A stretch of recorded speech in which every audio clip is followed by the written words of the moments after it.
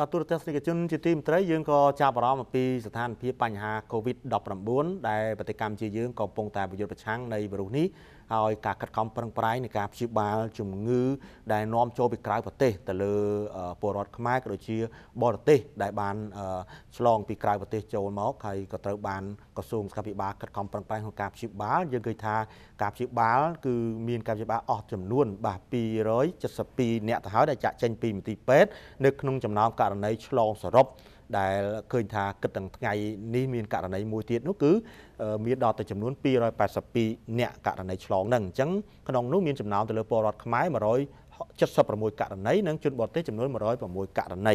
ប៉ុន្តែក្រសួងសុខាភិបាលនៅតែបន្តនឹងការជំរុញបាទទៅដល់បងប្អូនប្រជាពលរដ្ឋទាំងអស់បង្កើនការប្រុងប្រយ័ត្នខ្ពស់ចំពោះវិធានការការពារទប់ស្កាត់ បាទចាប់ដើមពីខ្លួនឯងដើម្បីធ្វើយ៉ាងណាមិនឲ្យមានការរីករាលដាលវីរុស COVID-19 គណៈដែលគឺថាប្រទេសកម្ពុជារបស់យើងគឺជាប្រទេសមួយដែលយើងខិតខំប្រឹងប្រែងក្នុងការទប់ស្កាត់ហើយមិនមានអ្នកបាត់បង់ជីវិតដោយសារតែវិបត្តិ COVID-19 យ៉ាងណាក៏ដោយក៏ប៉ុន្តែត្រូវតែប្រកាន់ខ្ជាប់ធ្វើយ៉ាងណាឲ្យមានសុវត្ថិភាពទាំងអស់គ្នាពីព្រោះថាវីរុស COVID-19 យើងមិនដឹងថាស្ថិតនៅទីណានោះទេយើងអាចភ្លេចពីវីរុសនេះប៉ុន្តែវីរុសនេះមិនអាចភ្លេចយើងនោះទេអញ្ចឹងបង្កើនការប្រុងប្រយ័ត្នទាំងអស់គ្នាដោយប្រើប្រាស់ម៉ាស់ប្រើប្រាស់ជែលអាល់កុលឬក៏សាប៊ូក្នុងការលាងដៃសម្អាតទាំងអស់គ្នារក្សាកម្រិតសុវត្ថិភាពនៅតាមទីប្រជុំជនផងដែរ